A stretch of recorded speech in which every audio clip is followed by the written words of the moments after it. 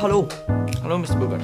Eh, jeg, jeg beklager virkelig for, eh, for forrige gang, men uh, ja det, Jeg ser nå at det ble litt, uh, ble litt feil av meg å si at det var sånn kona di forsvant. Ja, OK. Uh, respektløst, men, men hvis du tenker deg nøye om Er det ikke en liten mulighet for at uh, kona di ble bortført av romvesenene når hun var på vei til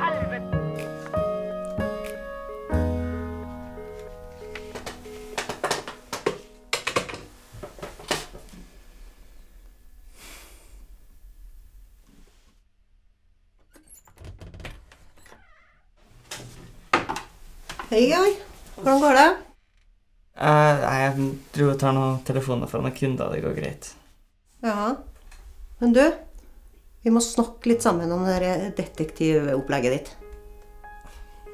Nå kom det en regning i posten. Og vet du hva det står på den? Snill. 7000 kroner på én hatt. Jeg tror du er helt gal, jeg. Det er en veldig spesiell hatt som er lagd av nigerianske fremmedkrigere. De har brukt 2000 år på å prøve å spille. Ja, ja, ja. Men hvordan tenker du vi skal betale for det her når ikke du tjener noe penger sjøl? Kjem etter hvert. Det har du sagt uke etter uke i to år nå. Jeg vil se resultater. Du gjør jo det. Sånn med når jeg fant hunden til fru Jensen. Fru Jensen er gammel og senil. Og ikke hadde hun noen hund heller. Nå har jeg fått nok av det her. Enten så får du til noe på de neste detektivgreiene dine, eller så må du skaffe deg en deltidsjobb. Går ikke an å like detektiv, vet du.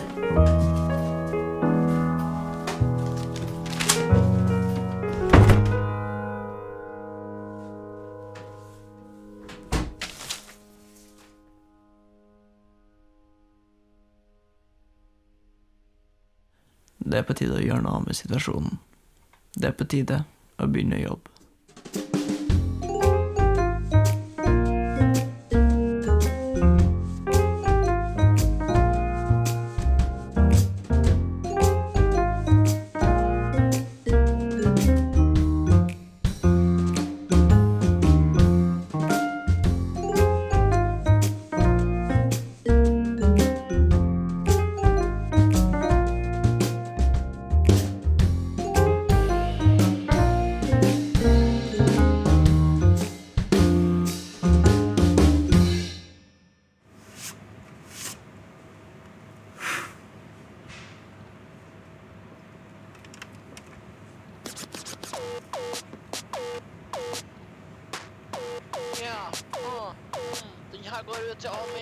Fuckers. Dere skal da fuck crew 2 K16. Au! Jeg har ikke sånn så mange plater, for jeg har for god kontakt med Satan. Jeg er spirituell, individuell, lyrikkel, sykkel. Individuell, spirituell, lyrikkel, spirituell, individuell, sykkel. Det har vært litt dårlig akkurat der, da. Må spille inn i klesskapet, sjø. Hvorfor må du spille inn i klesskapet? Det, det er jo klær der. Og så mjuke overflater. Og så slipper denne klangen og dette ekkoet og denne driten der. Jeg skjønner, ass. Ja, Men jeg tenker seriøst sende inn den demoen her, da. Syns jeg begynner å naile dette med beaten og flowen og kontrastene og følelsene og det politiske budskapet. Ja, både psykisk og fysisk, liksom.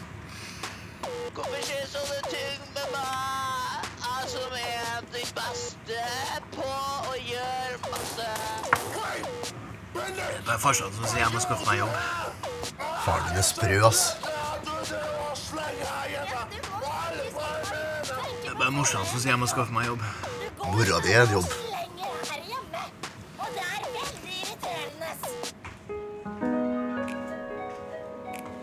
Jeg tror klokka var ca. 16.38 idet jeg kom inn i den lokale puben.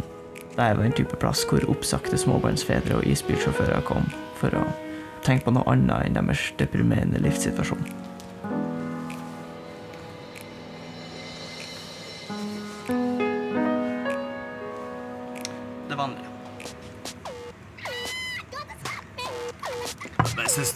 Sier at jeg må ha meg ut av klesskapet hennes.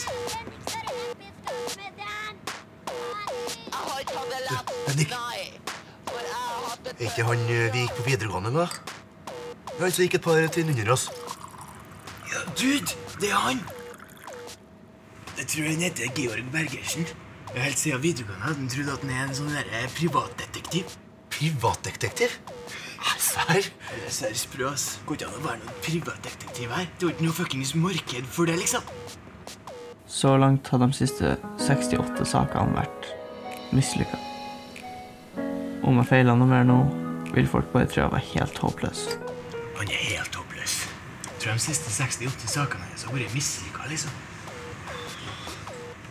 Det. Fikk en sånn sykt funny idé nå, ass.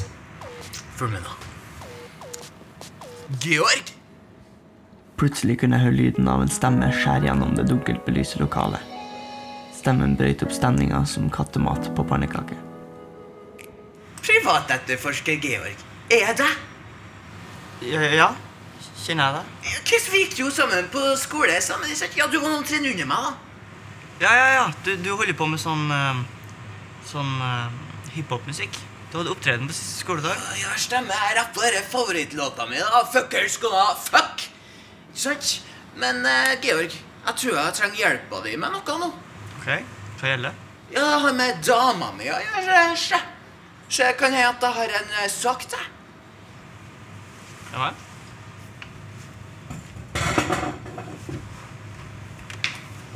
Jeg skjønner, jeg tror kanskje dama mi er utro med en annen kiss. Så det gjør meg sånn usikker og utrygg. Jeg blir usikker både psykisk og fysisk på situasjonen. Så jeg tenker kanskje du kan hjelpe meg med det. Ja. Da, da er det bare én ting jeg trenger å vite.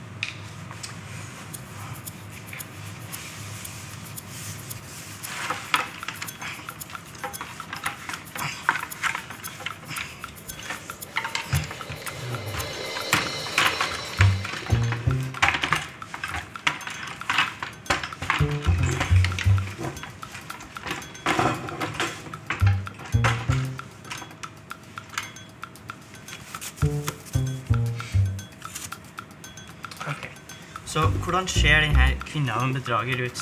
Eh, Hun har jævlig fin personlighet. Eh, Litt sånn eh, halvlangt hår. Rød kåpe og Sko. Ja, sko.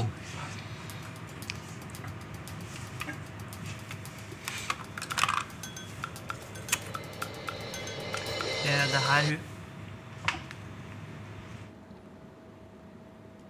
Ja, det er hun. Da skal jeg nok finne ut.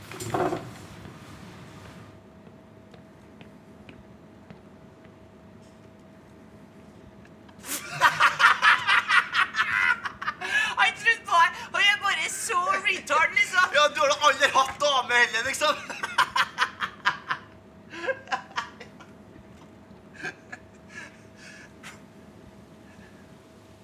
Jeg kunne føle på lillefingeren at jeg skulle løse saken. Den hadde aldri slått feil. Men først gjelder det bare å finne ut hvem denne kvinnen var.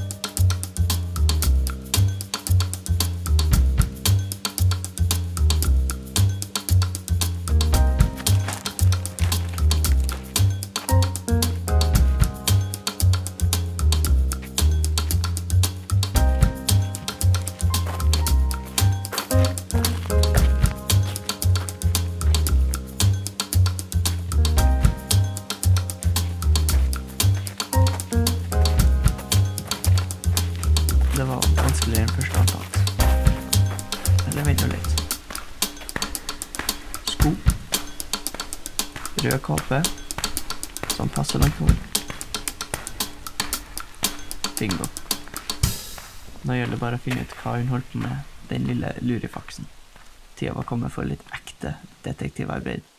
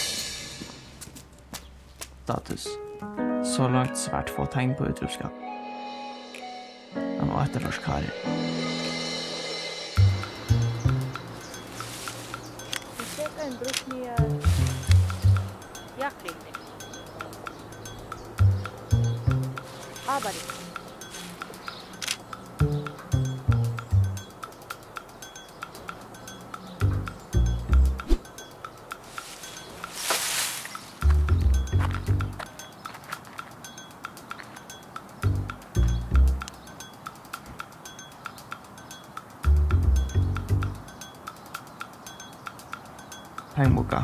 Der vår djupeste hemmeligheter ligger skjult. Jeg visste.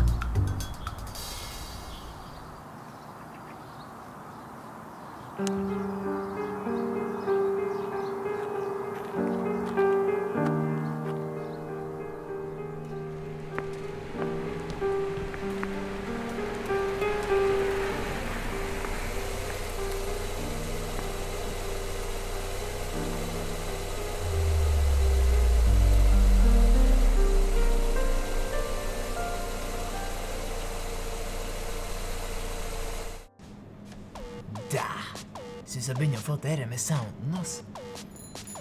Hva er sounden? Altså, sounden det er jo det du hører, jeg, Kiss. Det er sounden min, Kiss. Ja, men hva, hva betyr sounden? Altså, hva betyr livet? ikke sant? Hva er himmelen? Hva er kongen? Hva er politikken? Hva er følelsene? Ok, ok, Jeg har funnet ut hva dama di holdt på med. Um, når, når hun var i parken, så glemte jeg igjen pengeboka si. Og da fant jeg det her bildet. Da ble jeg mistenksom. Så jeg fortsatte å spane på henne. Og i kveld tok jeg ut på madrassen. Klokka 19.75 så har hun lent seg tiltrukket mot denne mannen. Jeg tror hun er utro. Altså, det er jo ikke sånn Kiss. Jeg bare kødder med deg. ikke? Så drar du ut og så lager du en sak ut av hva faen, ikke?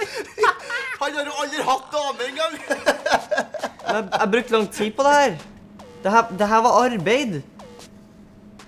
Det, du, du, du mener ikke det her? Nei, Men hva faen, det er jo ikke sant, ikke sant?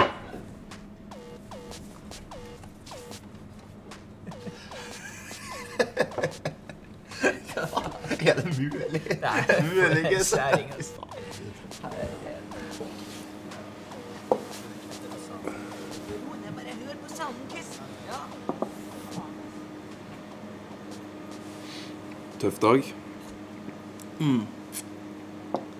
Du òg. Sagt opp. Ja. eh, Justis- og beredskapsdepartementet de eh, kutta det russiske spionjaktbudsjettet. Mente ikke kom noen resultater ut av det. Og siden Ida var den eneste som var ansatt i den sektoren der, så ja, da sa de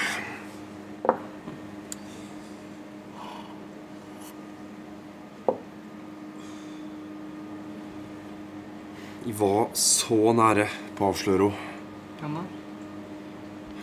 Jeg har jobba i seks år med å avsløre. Russisk spion. Og det er alltid rød kåpe, halvlangt hår, sko Så Det var så nære. Men jeg måtte, jeg måtte ha et bevis, jeg måtte ha en dokumentasjon for å bevise at hun har kommunikasjon med russerne. Men så, ja, så kutta de jo det budsjettet. Jeg var, jeg var ganske nær å ta i sjøl. Um, Hva du mener jeg var jeg privatdetektiv. Så fikk jeg i oppgave å så spane på ei for å se om vi var utro. Og så jobba jeg da. Det var mye arbeid. Spana, tok foto. Hele pakka. Så i dag fant jeg ut at eh, hele saken var en bløff. Eller så er jeg bare en jævlig dårlig detektiv. Så er det hun jeg skulle spane på. Hvor har du fått det bildet her fra? Jeg, jeg tok det med, med kamera. Det er jo fantastisk. Det er jo Dette er jo dokumentasjonen som trengs. Du har avslørt henne. Hva, hva, hva du mener Faen, Du er jo genial. Altså, dette, dette er jo hun russiske dama som jeg har jobba med å avsløre. Og du har fått bilde av henne. Du, vi må til, vi må til politistasjonen med en gang og vise dem dette her, OK? Seriøst. Åh. Dette blir svære saker, ass. Tro det. Du, du tar det her eh, Ja.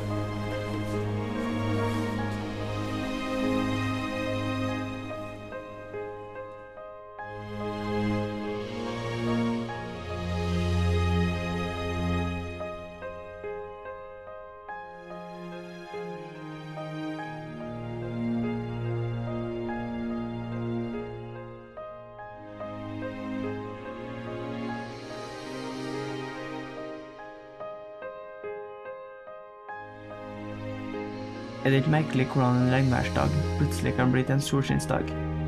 Jeg tror det har noe med global oppvarming å gjøre. Men selv om Trondheim kanskje er kvitt ett problem, er jeg sikker på at det vil være flere som trenger hjelp av meg, privatetterforsker Georg J. Bergersen.